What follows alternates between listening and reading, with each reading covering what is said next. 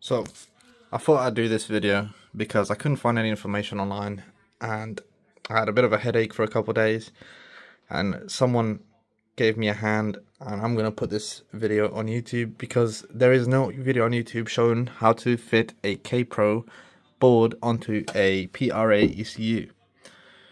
I'm not sure if it's this works on any other ECUs, but I'm going to show you what you need to do on this ECU. So the board is fitted now already because I and tested. I've tested it works. So I'm going to show you what you need to do to install this board on here. I need to do some modifications, so just to make it look nicer and everything. But it is working. So obviously take the lid off. Um, remove all the screws that you see on the bottom. Um, which is one, two, three, four, five, six, seven, seven screws. So once you remove that last seventh screw, remove this here as well. There's one screw here and that will come loose. Right, now your board will just lift off and that's it. So here's the board. Let's put that to the side. And I'll show you now what you need to do to, to fit this ECU, this K-Pro on. Right, so let's lift off the K-Pro. Just bare board. So here's your K-Pro. Don't need to touch that, just need to fit it on. So on the PCB, what do you need to do? So, let me see if I.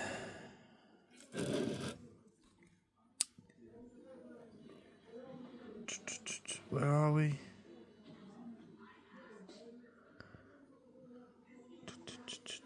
Right, see that zero on there? That 223 resistor there, I have fitted on there. So right in its place before there was a 0 ohm resistor which I took out and I fitted this 223 on there. Oh shit. Well my bad. I will use a tweezer or something to show you. Where are we?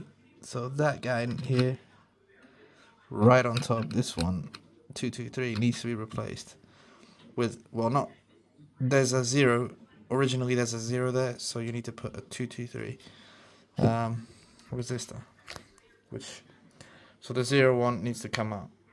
Not that one but the one that was there. And then the zero that you remove from there you need to put here on J250 so either that or you can bridge it with a blob of solder.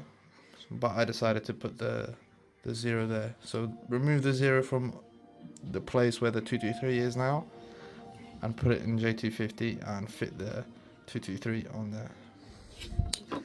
That's about all you need to do for com components replacements or bridges or anything like that.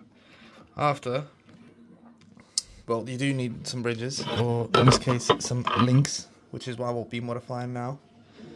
So as you can see, this is what I want to change because I don't like it. It's a bit sketchy. The cable that they gave me was a bit short, so I want to replace it.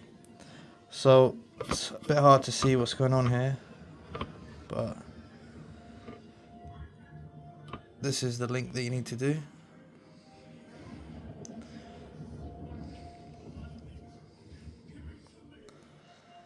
And there's this one as well. So